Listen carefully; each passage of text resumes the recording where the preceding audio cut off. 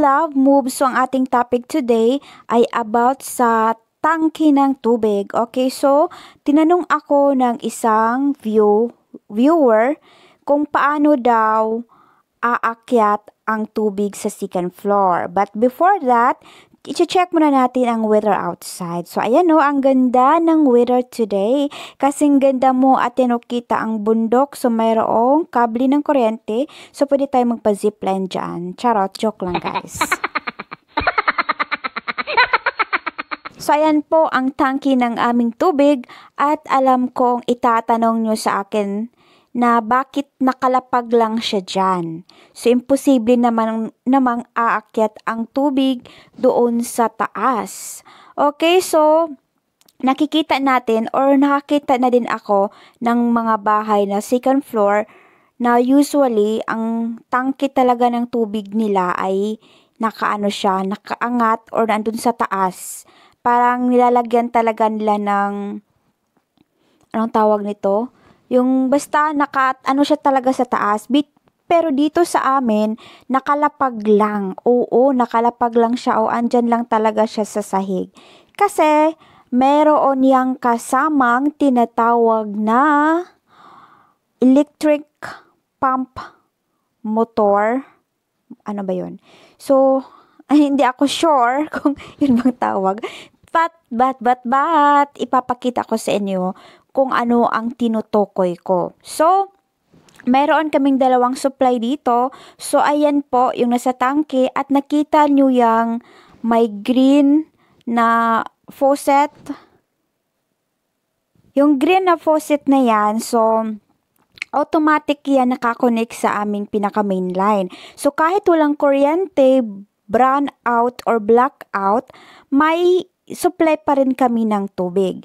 Pero yung nasa tangke na yan, hindi yan aandar or hindi yan magwo-work kapag walang kuryente. So, yun po ang malungkot or masaklap na katotohanan kasi gine-generate yan with the power or with the electricity. So, ayan ha. Explain pa more.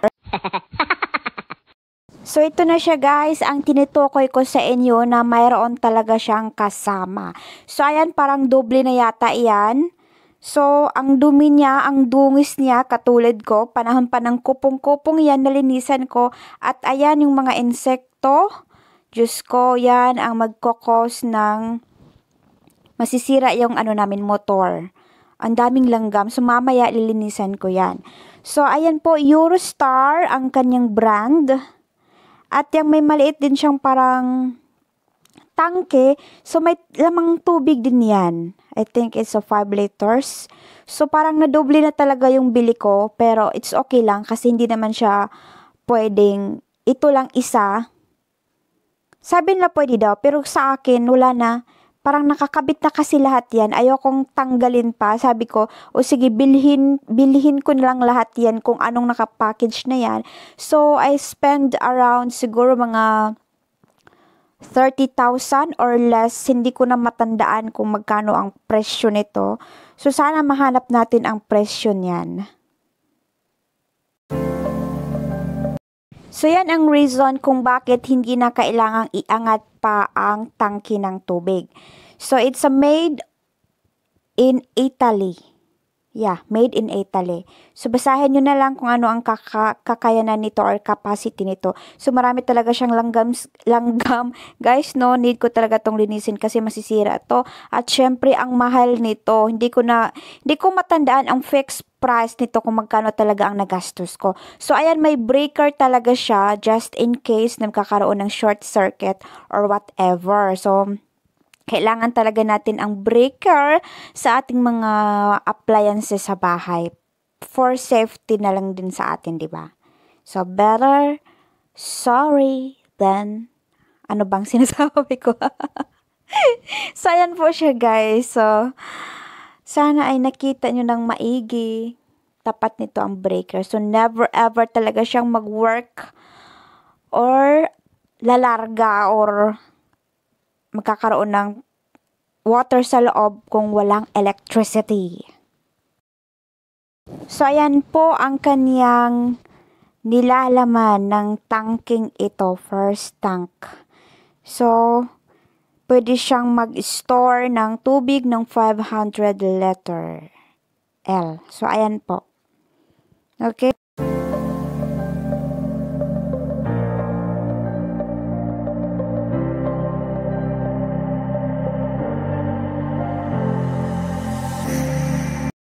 Actually guys, hindi naman mahirap ang tubig dito sa probinsya kasi nasa probinsya ang bahay namin.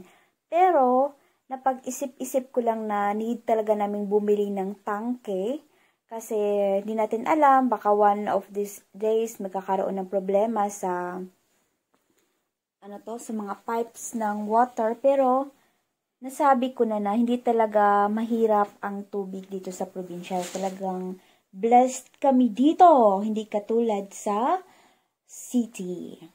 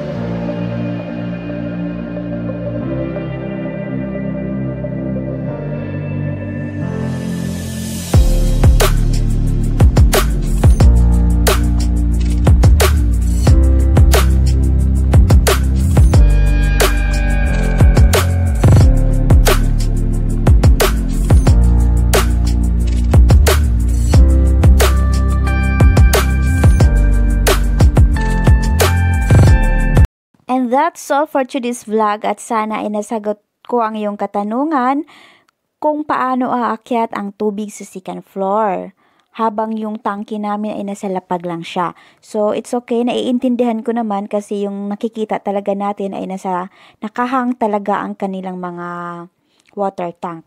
So, hanggang dito na lang po. Ito si Love Moves at magsasabi sa inyo na mag-iingat po kayo palagi at hanggang sa muli nating pagkikita. Paalam!